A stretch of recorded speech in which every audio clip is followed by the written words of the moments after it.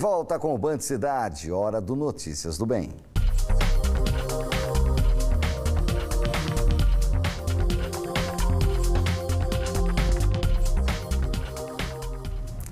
Hoje a gente mostra a história de uma ONG em Caçapava que transforma a vida de jovens e crianças por meio das artes marciais. Há 10 anos, o projeto ensina mais do que um esporte. São lições de cidadania. A minha história de vida ela começou quando eu tinha sete anos.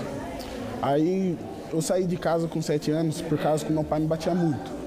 Ele bebia, tinha problema com álcool. Eu pedi na escola, falei que não queria mais voltar embora para casa. A educadora da escola catou e pediu para mim esperar um pouco que ela ia ver o que podia fazer.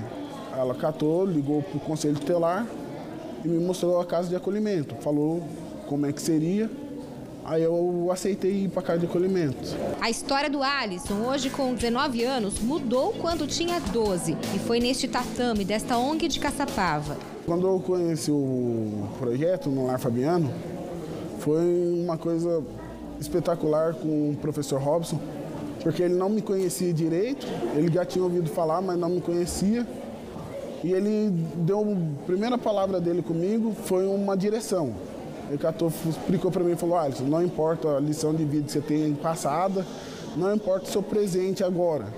O que importa é o que você vai escrever no futuro, porque todo dia você acorda, você é uma página em branco, você escreve o seu futuro.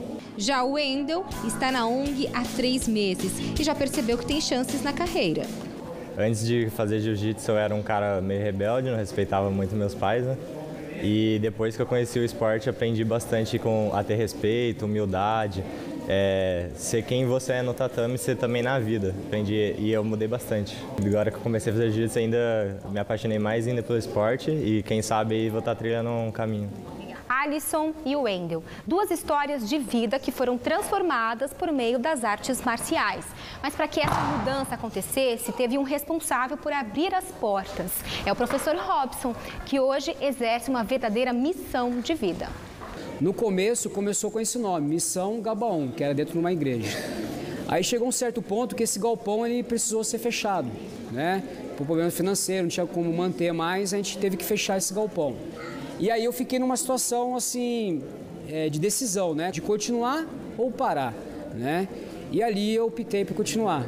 Por causa da missão de quase 10 anos na ONG Resgatando Vidas, o Robson foi eleito um dos condutores em Taubaté da tocha durante os Jogos Olímpicos no Brasil em 2016. Um baita reconhecimento. Dentro do jiu-jitsu, a modalidade que eu pratico, é, e luto também como competidor, é, é, representar também essa, essa arte marcial para mim foi uma benção, né? E representar uma família resgatando vidas, né? E essa turma do Resgatando Vidas cresceu, ganhou mais duas sedes, sendo uma em Caçapava Velha. E olha só quanta transformação. Tatame lotado de histórias, com tantas conquistas. São 280 alunos, desde os pequenos ao jovem, que aprendem diferentes modalidades, entre elas jiu-jitsu e muay thai. E os alunos aqui já conquistaram dezenas de medalhas em campeonatos no Brasil e fora. Que eu se divirto, de quando eu, tre eu treino, depois eu fico brincando com meus amigos.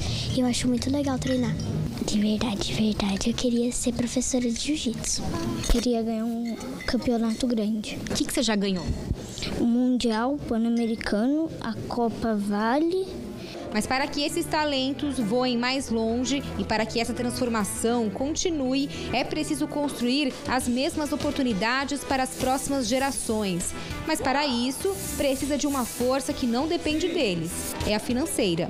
Hoje a gente mantém a nossa, nossa sede, nosso trabalho, através de eventos, né? Noite da Pizza, Noite do Pastel, através de é, Amigo Fiel, que é uma contribuição voluntária que qualquer pessoa possa, possa fazer. Esse projeto aqui ele podia estar crescendo e ajudando como ele me ajudou a focar em uma, uma coisa boa, tirando.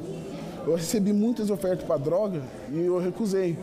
Por causa que eu tive jiu-jitsu como guia. Falei, não, quero ser um lutador, então eu vou focar no jiu-jitsu.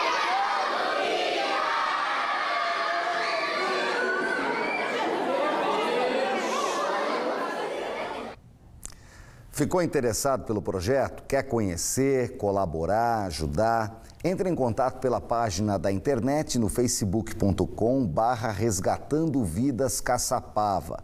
E tem também um telefone, é o 981236505. E para participar do quadro Notícias do Bem, você pode enviar uma sugestão de reportagem como essa pelo nosso aplicativo, que é o Você na Band Vale. Você pode baixar de graça no seu celular ou tablet, disponível para Android e iOS. A gente fica por aqui, vem aí o Tony Blade e o Vale Urgente. Eu volto amanhã, até lá.